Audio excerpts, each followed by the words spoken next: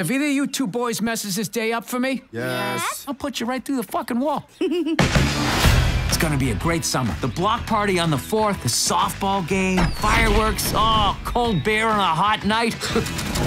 Ah, oh, piece of shit! Guys, these are our new neighbors, Chet and Winwin. They're really fun, and he's a hero. What wall are you from? In my book, you're the hero.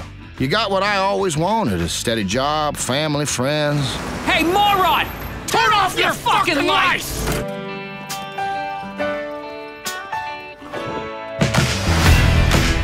Bridget Fitzsimmons.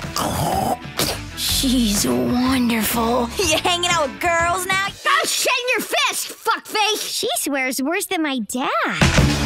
Kevin failed math. I got a D plus! Oh, let's have a parade! Three cheers for my D minus son! D plus! Allow me to present to you my new invention. The Forcuncula. All your kitchen implements in one. Oh, fuck. I got a fly lesson in the morning. What? You're learning to fly? We're gonna be pals. Chet is my friend. You can't be pals with him, Chet. You're a soldier. Vic would never hurt a fly. He has parties where midgets fuck on other people's cars.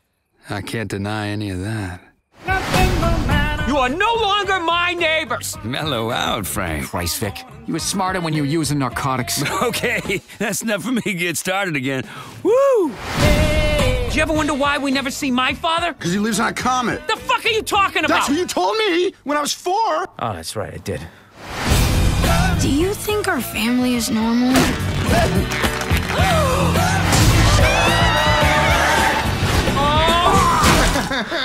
Oh, oh. Living my dream. I was in the fifth grade play, and my dad just came down there to laugh at me. I told myself right then and there that I would never be like him. I guess it really hurts me to think that you look at me like. Oh, what the fuck? Ah! Jesus Christ, the hell you I'm doing? trying to open up to you, you fucking asshole!